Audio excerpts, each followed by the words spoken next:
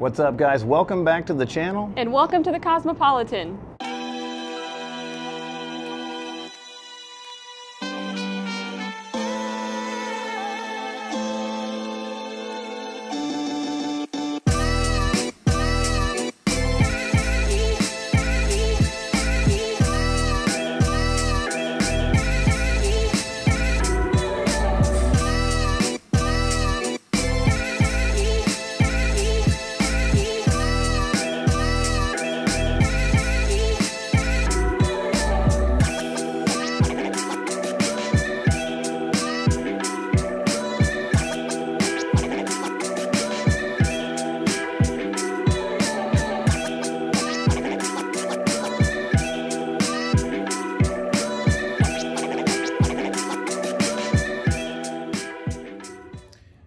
Right, all checked out of Bellagio. We walked over to Cosmopolitan.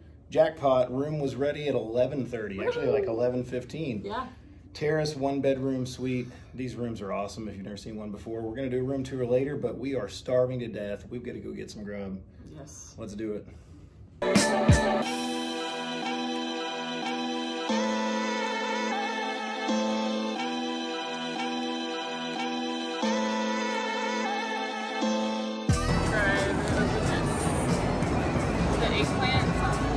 Spicy eggplant, yeah.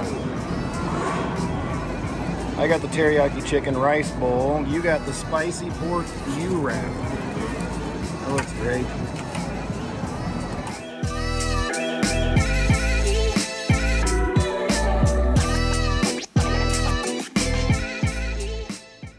So this is room 6983 in the Boulevard Tower. It's a terrace one bedroom suite.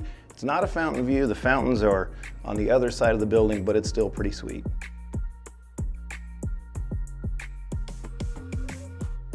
As soon as you enter these rooms, you're in a spacious living room. There's seating for at least five or six people. These rooms measure 610 square feet in all.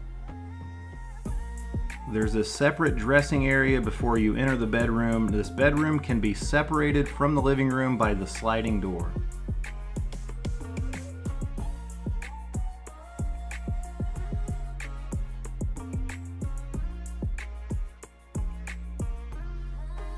Course, on the other side of the living room is the main attraction of these rooms. It's the terrace.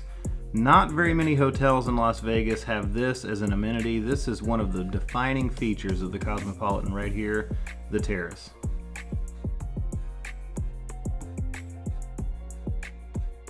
There's enough seating on the terrace for about three people, but you could definitely have more people out here if you wanted. And as good as the views are on this side of the building, on the other side of the building you would have a view of the Bellagio fountains.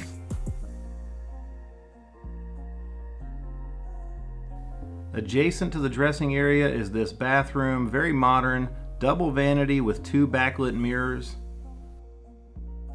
Off to one side is a private water closet, which is a great amenity not to be taken for granted.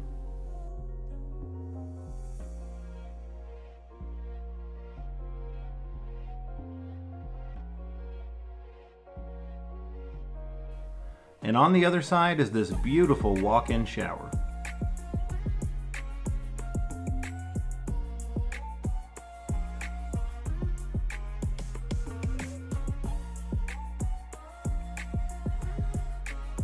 Not only do you have a shower, but you have a Japanese soaking tub with a window view. Now these suites aren't the biggest on the strip at 610 square feet, but they do offer four distinct areas, including a dressing area with a really nice closet.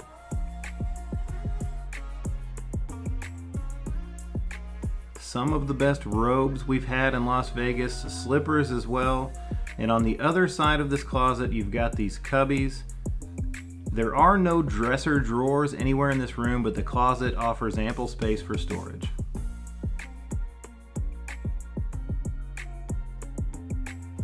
Back inside the living room, you see this bar area. It's not a wet bar, there's no sink, but you do have plenty of counter space.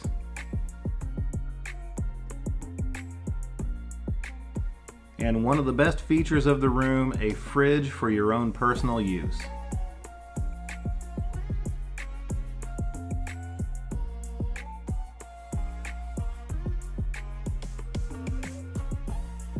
If you didn't bring your own provisions, there is an overpriced mini bar in the room as well as the overpriced snacks and water bottles on the counter.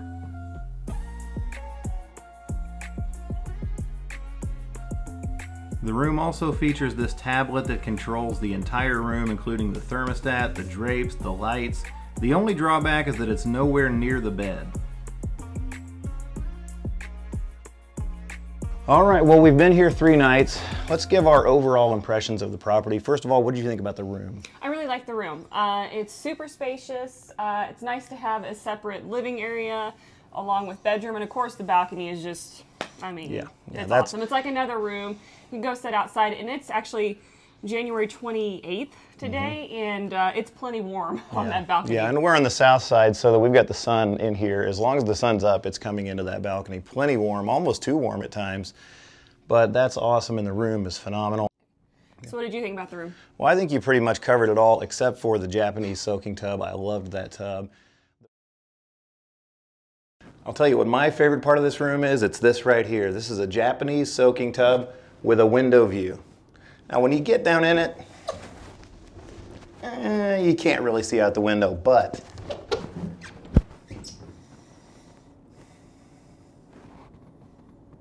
The property overall, I think, is one of the best on the strip. Now, we'd stayed here one night before, but we didn't have a chance to really explore this property like we did these last three days, and it is amazing. It's first off, it's it's beautiful, um, and I we there are so many different eating venues and bars Mm-hmm. and lounges, and unfortunately, we even though we were here for three days, we couldn't get to all of them. Um, So this property has everything and the location. Yeah, the location is is, in my opinion, just perfect. Um, Yeah. Anyway, if you enjoyed this video, please don't forget to give it a thumbs up. Also, subscribe to the channel so you don't miss anything because there's always more for us to show you on Show Me Vegas. Bye, guys.